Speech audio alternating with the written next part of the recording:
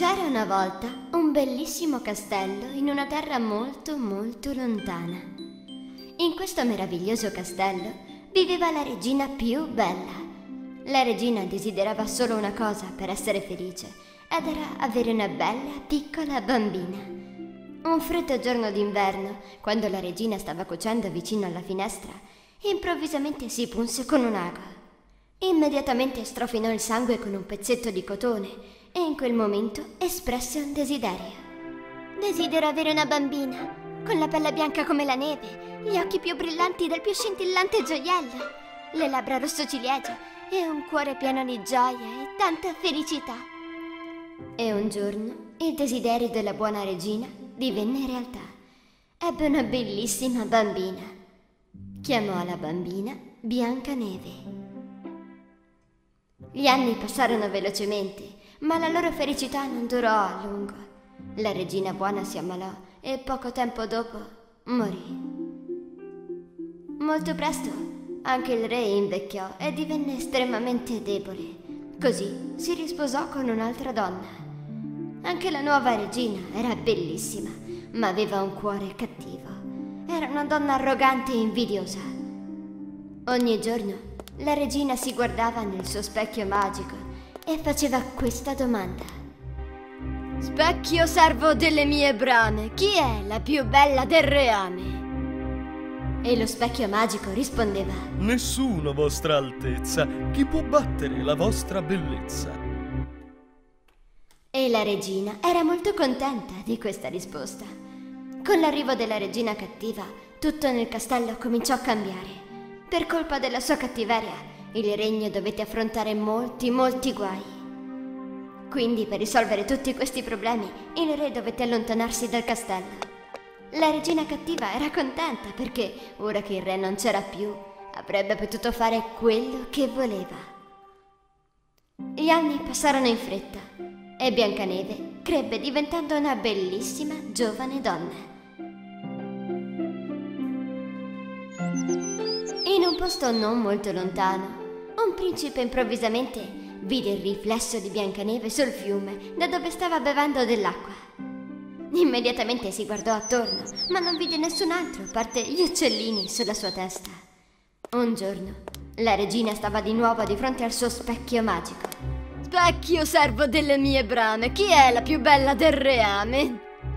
Lo specchio rispose. Beh, effettivamente non sei tu, mia regina, mi spiace. Biancaneve è colei che a tutti piace. La regina divenne furiosa quando sentì la risposta dello specchio magico. Immediatamente chiamò il suo cacciatore preferito e gli diede un ordine orribile. Condurrai Biancaneve nella foresta e mi porterai il suo cuore.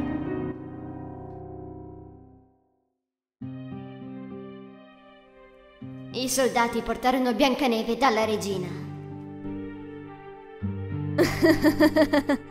Benvenuta Biancaneve.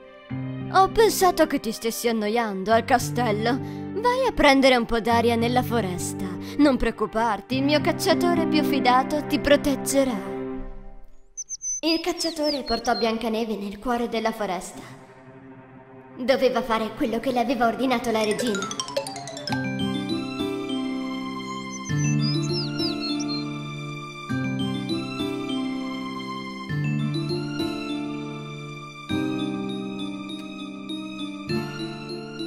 Vedendo che Biancaneve aveva un cuore puro ed era così buona, il cacciatore non poté farle alcun male. L'avvertì di non tornare al castello mai più. E al tramonto la lasciò nella foresta e tornò al castello. Biancaneve era molto spaventata, tutta sola nella foresta buia. Si sedette sotto ad un albero e cominciò a piangere, finché alla fine si addormentò.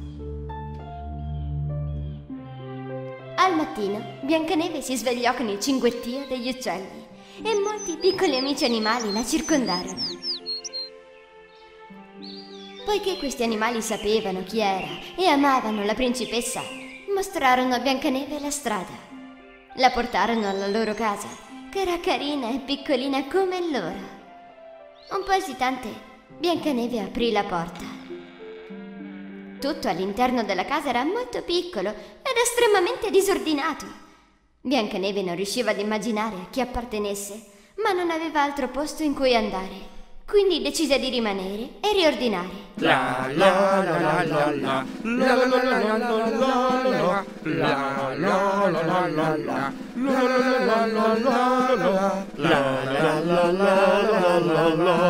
la la la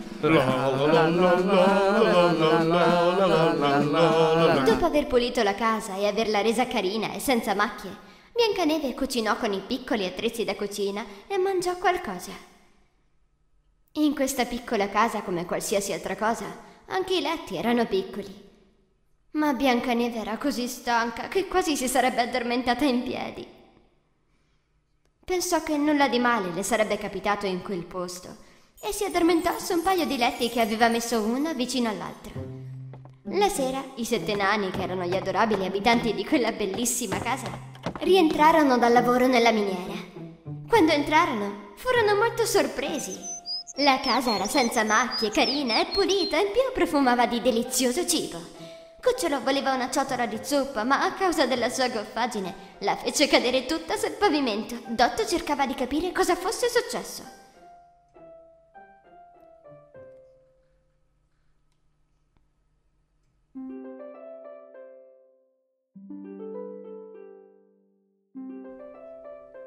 Disse Pisolo sbadigliando. I sette nani salirono lentamente al piano di sopra.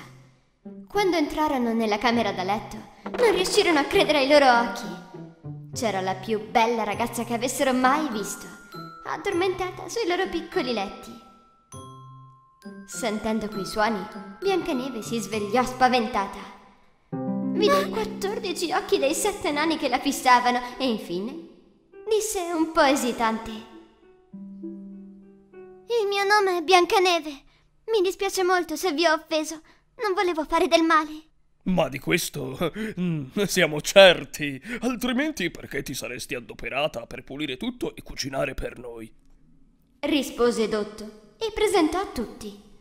Noi siamo i sette nani, questo è Gongolo, Brontolo, Cucciolo, Eolo, Mammolo e poi ci sono io, Dotto. E... e... Eccolo lì, Piso.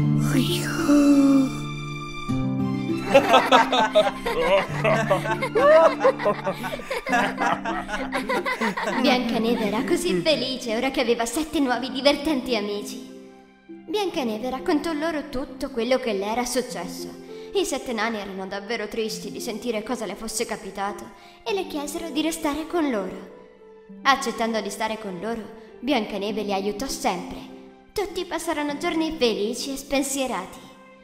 Ma la loro felicità non sarebbe durata a lungo.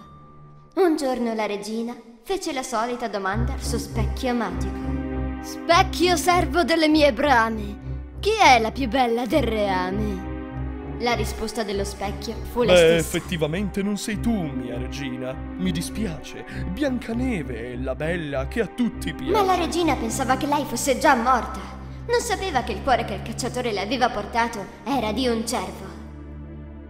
La regina realizzò che era stato un errore fidarsi del cacciatore e decise di finire il lavoro da sé, una volta per tutte. Era un'altra mattina gioiosa nella casa dei sette nani. Biancaneve salutava i nani che andavano al lavoro con un bacio sulla guancia di ciascuno. Dotto ripeté le sue raccomandazioni come sempre. Non dimenticare le regole. Se qualche straniero bussa alla porta quando non ci siamo, tu bada a non rispondere. Certamente, Dotto. Ma voi non fate tardi, d'accordo? Mentre Biancaneve stava preparando la cena, qualcuno bussò alla porta. Non si aspettava che i nani sarebbero tornati così presto. Chi è? Dotto, siete voi, ragazzi? Da fuori parlò una vecchia signora. Non intendo farti del male, bambina. Aprimi, per favore. Guardando dallo spioncino, Biancaneve vide la povera vecchia signora che stava fuori e pensò che non avrebbe voluto farle del male. Così aprì la porta. Oh, mia bella ragazza, sono una povera vecchia signora e passavo di qua. Ah, se solo potessi darmi una ciotola di zuppa, te ne sarei eternamente grata. Biancaneve fece entrare la vecchia signora e le offrì una ciotola di zuppa calda.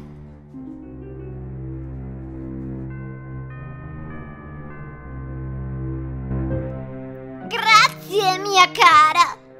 Non ho soldi, ma ho la mela rossa più deliziosa e brillante tutta per te. Anche un solo morso e sentirai che sapore. Biancaneve, curiosa, diede un morso alla mela. E non appena lo fece, svenne e cadde sul pavimento. La vecchia signora altri non era che la regina cattiva mascherata. E la mela era sì deliziosa, ma altrettanto velenosa. Anche un solo morso era abbastanza da far addormentare Biancaneve, un sonno dal quale non si sarebbe più potuta svegliare.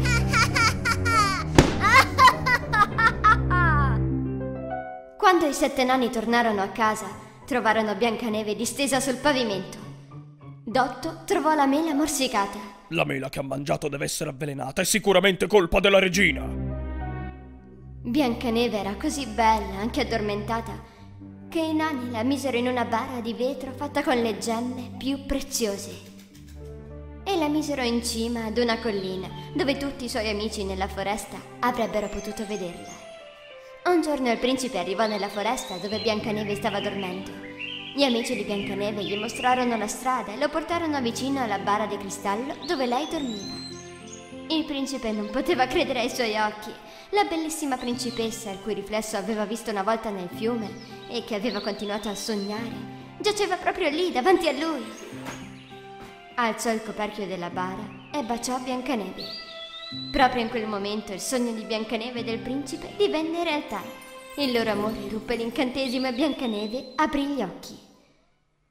Allo stesso tempo, avendo scoperto cos'era successo a sua figlia, il re ruppe lo specchio magico e mandò la regina il più lontano possibile dal castello. Biancaneve, infine, tornò al suo castello e si riunì a suo padre. Biancaneve e il principe celebrarono delle nozze magiche. Il re, Biancaneve, il principe e i sette nani vissero per sempre felici e contenti.